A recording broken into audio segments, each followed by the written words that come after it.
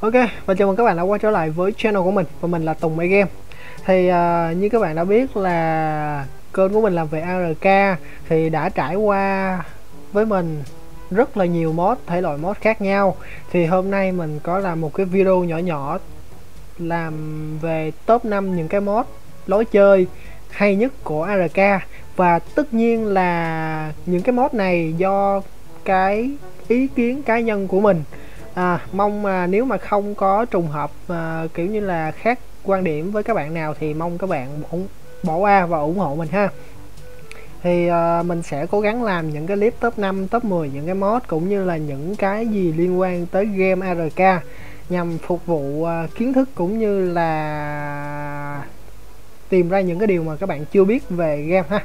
Ok và bây giờ chúng ta sẽ đến với top 5 mod uh, lối chơi mà theo mình đánh giá là tốt nhất ARK này. Hello anh em, mình là Tùng Vay Game. Và hôm nay mình sẽ giới thiệu cho anh em năm cái đường link nằm phía dưới video của mình. Đó là thứ nhất link fanpage. À, thứ hai là link Facebook cá nhân.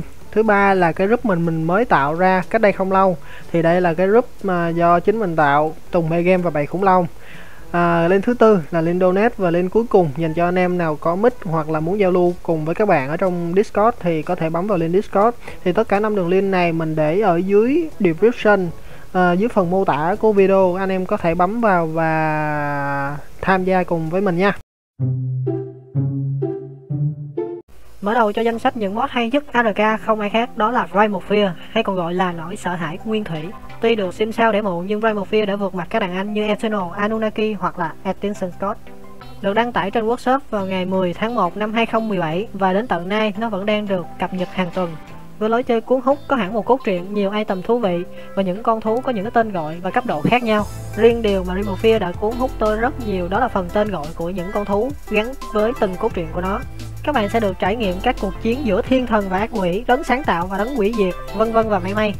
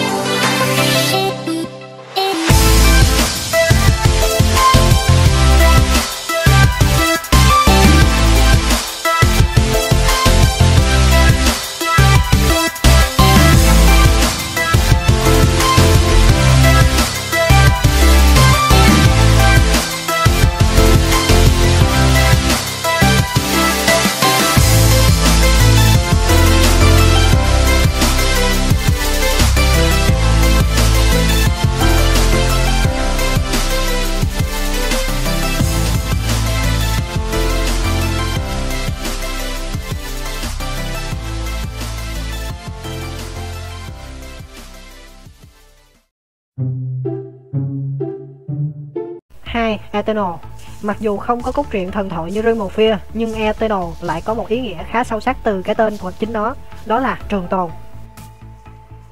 Nếu trong game bạn vô tình giết một con nào đó, con đó sẽ tái sinh ra một con khác và linh hồn nó sẽ được mang theo. Linh hồn đó sẽ mãi mãi luân hồi trong map của bạn. Sau vụ lùm xùm về bản quyền từ Comet Alive, tố Eternal phản bội bản cấp bản quyền. Tuy nhiên, vụ việc đã được giải quyết một cách im ắng.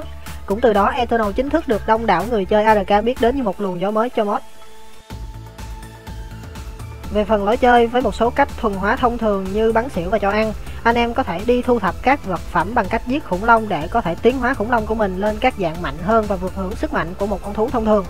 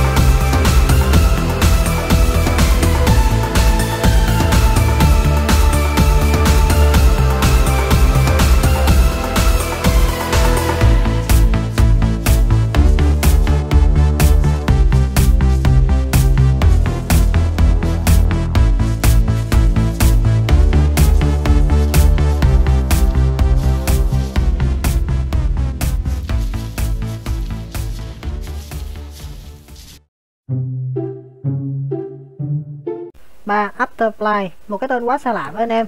Afterfly thực chất là mod Comet Alive version nguyên thủy. Nói như thế này cho anh em dễ hiểu nhé. Trong lúc lùm xùm bản quyền giữa Comet Alive và Eternal, thanh niên này đã nhanh tay copy hết tất cả mọi thứ của Comet Alive. Sau vụ lùm xùm đó, Comet Alive đã chính thức bị xóa trên workshop một thời gian. Khi được đăng tải lại, Comet Alive đã lược bỏ một số tính năng năng và con thú để cạnh tranh với đối thủ Eternal. Chính vì điều đấy đã làm mất đi bản chất của Comet Alive từ những thời gian đầu và đột nhiên thanh niên Afterlife này xuất hiện và đem version đỉnh cao nhất của Comet Alive trở về. Về lối chơi tính năng mà mình thích nhất của mod này đó là, là anh em có thể trích DNA từ những con khủng long alpha rồi đem về lòng up có thể ra một con mới. Anh em có thể tiến hóa những con alpha lên các cấp độ khác nhau ví dụ như Prime Law, Legendary hoặc là Origin.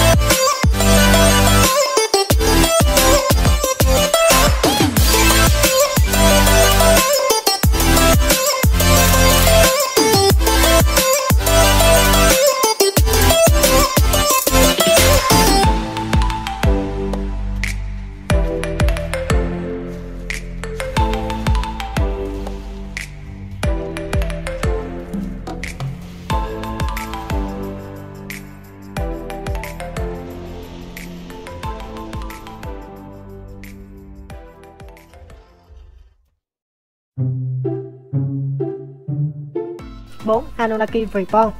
Theo giáo sư tiến sĩ Đăng cho biết, Anunnaki Reborn là sự kết hợp những thứ tinh túy nhất từ Atkinson Scott và Anunnaki Genesis. Và một điều hiển nhiên đó là ba mod này đều chung một chủ. Các thể loại thú cưỡi cũng đa dạng hóa. Nhiều cấp bậc thú từ hai mod đã được gộp lại với nhau tạo ra hệ sinh thái cực kỳ đa dạng. Về phần lối chơi thì thật sự tôi chưa trải nghiệm mod này lần nào để đưa ra chính xác cảm nhận cũng như là tính khách quan nhất có thể nhưng hứa hẹn sẽ là một trong những cái mod mà tôi không thể nào bỏ qua trên kênh Tùng Mê Game.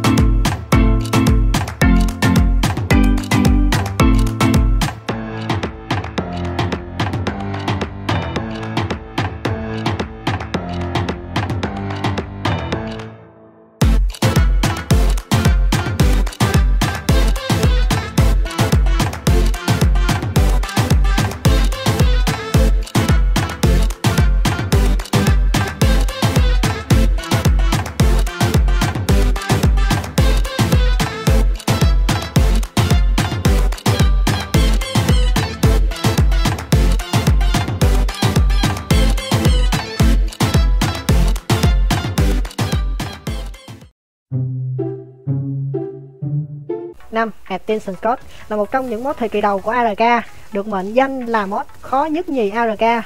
Nếu có mod nào dám nhận mình là mod khó nhất thì phải xem Attention Code cái đã. Về phần mặt sinh vật không quá bắt mắt cho mấy em nhỏ cũng như không màu mè kích thích người chơi đặc biệt là mình. Nhưng Attention Code có một thứ mà chưa mod nào làm được cho dù có làm được đi nữa nhưng cũng không bơ phạt bằng Attention Code đó là chức năng NPC NPC là như thế nào thì mình sẽ để ở dưới phần link mô tả nếu bạn cảm thấy cô đơn, bạn muốn chơi game với ai đó nhưng ngại giao tiếp, yên tâm, đã có NPC đến với bạn. Chúng đến thăm nhà bạn thường xuyên, không những đi một mình, chúng kéo cả một tribe, tất cả khủng long và những gì chúng có. Chúng có thể quét sạch nhà bạn không còn một thứ gì, kể cả mạng của bạn. NPC trong trong Attention Code, chúng được phân ra cấp độ, từ dân thường cho đến tộc trưởng, với sức mạnh hủy diệt. Nhưng đừng lo bạn tôi ơi, nếu bạn đủ mạnh thì có thể tấn công ngược lại và phá nhà chúng với những chiếm lợi phẩm ngon ngã.